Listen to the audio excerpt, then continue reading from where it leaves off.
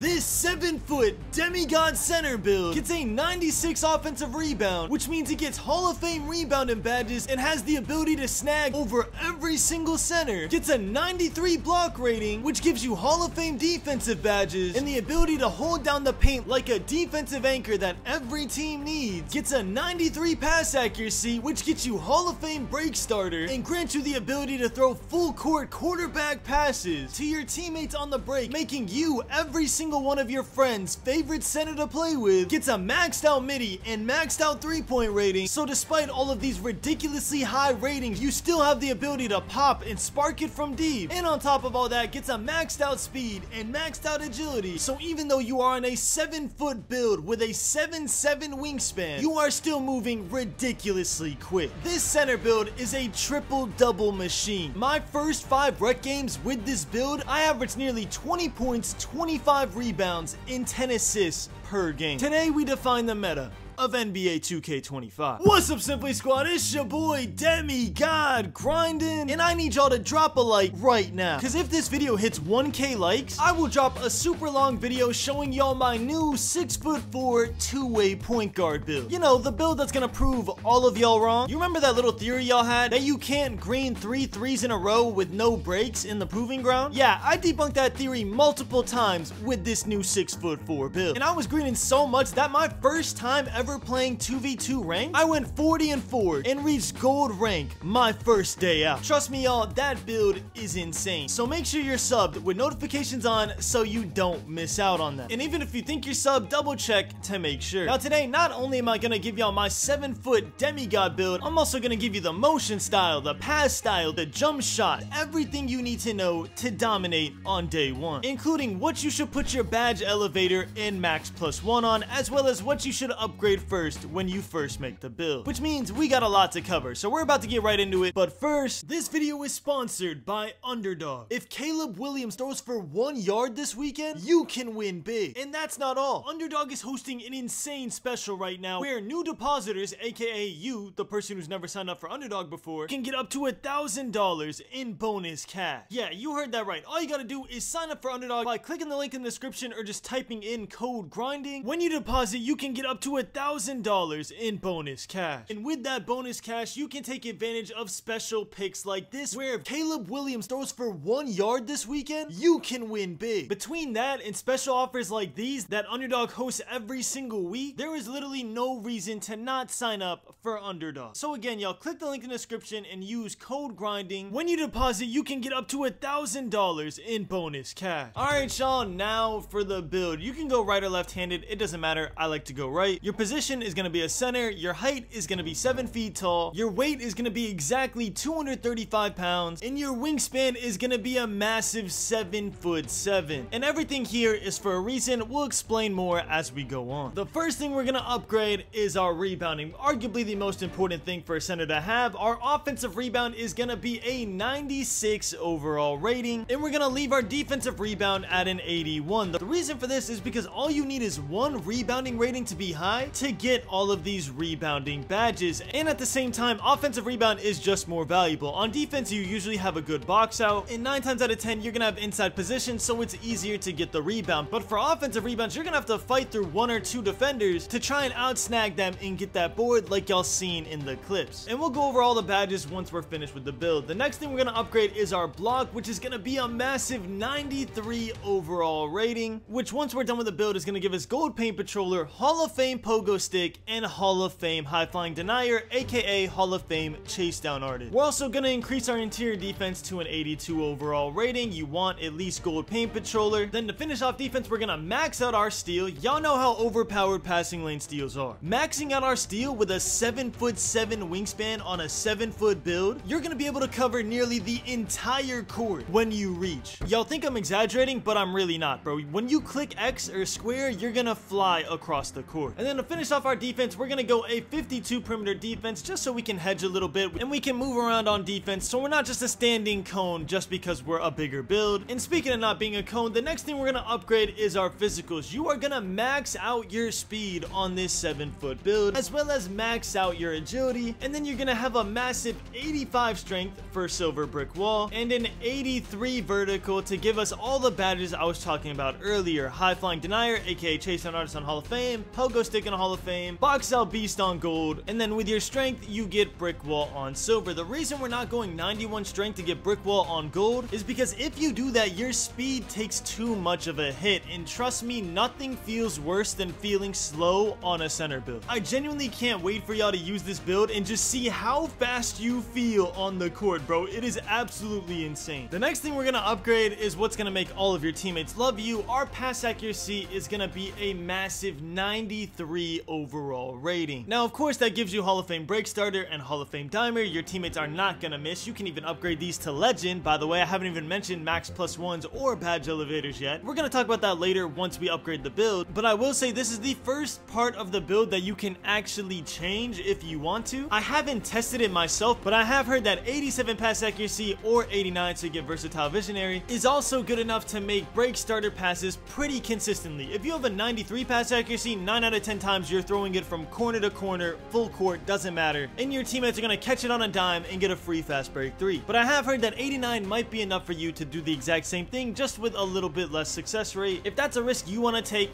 by all means go for it. You could put your other attributes in different places. But for me, I'm going 93 pass accuracy and I'm throwing straight dots. The next thing we're gonna upgrade is our shooting. You're gonna max out your three pointer, which is a 76 three point rating. And then to get the extra badges and the better jump shots in the game, we're gonna also max out our mid range to get an 82 midi. Now again, there is something you can do here if you're not comfortable shooting with an 82 shot, or if there's a specific jump shot you want that maybe is like an 85 overall rating, all you would have to do is lower the wingspan a little bit. But I want you to keep in mind that if you do lower the wingspan a little bit, do not be mad at me if you're not getting the same boards that I'm getting. How tall your player is and how long your player is, pause, wingspan is a major impact on if you get the board or not. All those clips you saw me snagging over people, I only had silver badges with legend rebound chaser because I used my badge elevator and my max plus one. Again, we'll talk about that later. But I had silver box out beast, I had silver pogo stick, I had every other badge on silver and I was still snagging like that. So this build when it's maxed out is gonna be absolutely insane. And then to finish off the build, we're gonna go in 81 standing dunk for silver rise up and silver aerial wizard. Again, there's a reason for everything in this build. The reason we didn't go 90 or 91 for gold rise up is honestly because standing dunks are kind of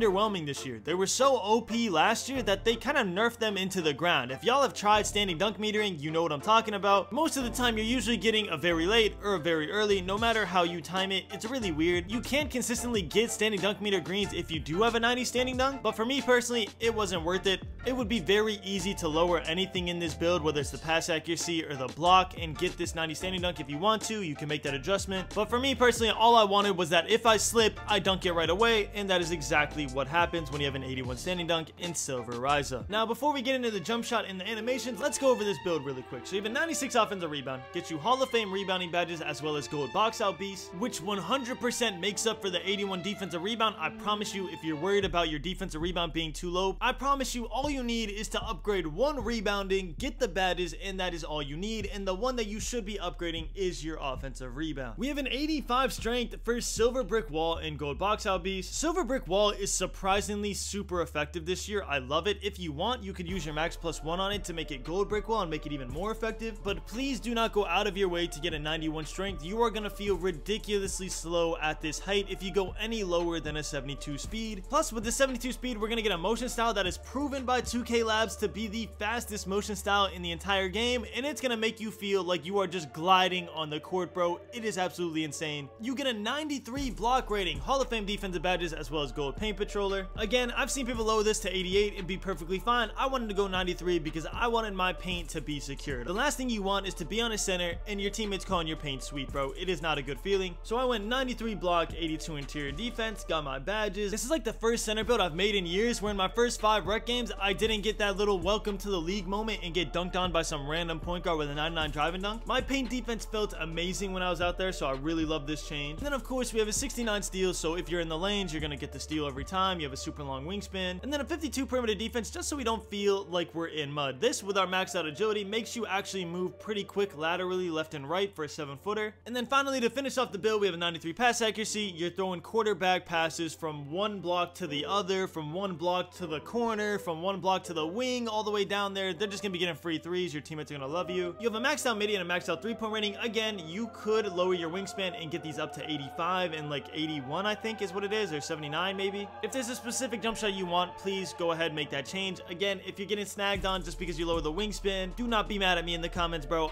I recommend going 7-7. I have a jump shot for you with these shooting attributes that I really like, so hopefully you like it too. And then of course we have the 81 standing dunk for Silver Rise Up. And if you make this build, you actually get a build name that I really like. You get a playmaking defensive anchor, which one doesn't reveal that you can shoot really well, which I love. People think you're an inside center a lot of the time, so they leave you wide open. And two, it's just accurate, bro. You are a playmaking defensive anchor. No one's scoring in your paint, and anytime you get a rebound, your teammates are off on the break and you get a free three. It's a beautiful play style, and it's led me to be undefeated in the rec this season with this build. Alright, y'all, first we're gonna cover the animations, then we're gonna get into the badges. So the first animation you need to know is motion style Pascal Siakam will make you move the fastest as a center. It's been tested by 2K Labs, it is by far the fastest motion style, so just put this on and you'll be moving ridiculously quick. The next thing you need to know is that the best pass style in the game is Tyrese Haliburton. If you look how fast he passes the ball, it is ridiculously quick. Once again, 2K Labs tested, shout out to them. This is the best pass style in the entire game. And then the jump shot you're gonna wanna use on this build, I'm actually gonna give y'all three options just in case you don't like this one, but this is the one I use. It's base PJ Washington, release one Nikola Jovic, release two Karl Anthony Towns, 100% release speed, and the blending is 59% Jovic, 41% Karl Anthony Towns. Now this is a super quick jump shot. The visual cue I like to use is push, but y'all might want release because it is actually really quick in game. For me, I've always preferred my jump shots to be where I just tap it and it's green. That's why I like this quick of a jump shot. just in case you don't like that jump shot, I also have this one right here where it's base Jonathan Isaac, release one Kevin Durant, release two Nikola Jovic, 100% release speed, and the blending is 40% Kevin Durant, 60% Jovic. Also a really quick jump shot, but way slower than PJ Tucker. So if you're more about timing your jump shot, setting your feet and squaring up, this jump shot's probably going to be better for you. And then finally, for my centers out there that don't really like to leave the ground when they shoot, we have a low rating jump shot, which is base Missy, release one Jalen Williams, release two Dirk Nowitzki, 100% release speed, and the blending is 60% Williams, 40% Dirk Nowitzki. This one's not really my favorite, but I know a lot of centers that don't really like to jump too high when they shoot, so I just want to put it in just in case. And last but not least, let's talk about the badges. Now, obviously, after my games are done, I finally got some of my badges, not all of them, but when I made this build, the first thing I did was use my badge elevator on Rebound Chaser, which brought my Rebound Chaser from Silver to Hall of Fame instantly. Then after that, I went to my badge perks and I used my max plus one on Rebound Chaser to get Legend Rebound Chaser before my first game even started. For those of y'all that's saying that badge elevators are trash, they're meant for your new builds. They're not meant for your build that you already grinded. They're meant for you to have an easier way to grind your badges when you make a new build. And as the seasons go on, it's going to be multiple badges per build. It is a very good addition to 2K, so please stop yelling at them to take it out, bro. It is very good how it is. And then the other max plus one I used, I put on glove. You could put on aerial wizard if you catch lobs a lot, but for me, I liked glove. And then finally, here are the attributes of the build at 99 overall with no cap breakers. I'm only starter two, I'm not starter three, so I have no cap breakers yet. But what you're gonna want to maximize if you're an 85 overall, first you're gonna want to upgrade your rebounding and your physicals. You're gonna just max all these out. After that, you're gonna upgrade your pass accuracy to around like an 80 plus, nothing like 93. You won't be able to get all that. Same thing with your block. You're gonna want to put your block up to an 80 plus, as well as your interior defense around a 70. And then you're gonna want to put your standing dunk at around a 70, and then max out your mid-range and three-point, and that should be a maxed out 85 overall. Hopefully, you've earned up to 90 or 95 overall by now. But if not, that's how you should prioritize those stats in that order. Anyways, y'all, that's pretty much it. I hope you have a ton of fun with this build. I know I was having a lot of fun in the rec, even with the skill-based matchmaking where I was sweating every game. I was getting a triple-double with nearly 20 points and 20 rebounds a game, which is insane. Anyways, y'all, thank you so much for watching. I love you all, and as always,